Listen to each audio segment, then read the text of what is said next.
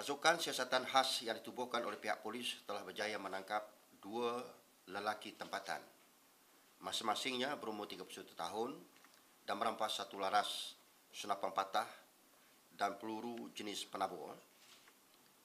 Kedua-dua suspek tersebut didapati, didapati menjalani aktiviti memburu secara haram. Dan salah seorang telah melepaskan tembakan ke arah mangsa yang disangka binatang liar.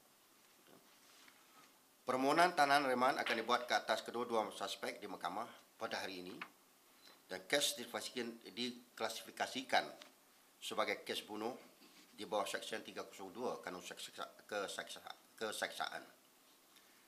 Pihak polis masih meneruskan siasatan secara menyeluruh dari pelbagai sudut untuk melengkapkan kertas siasatan.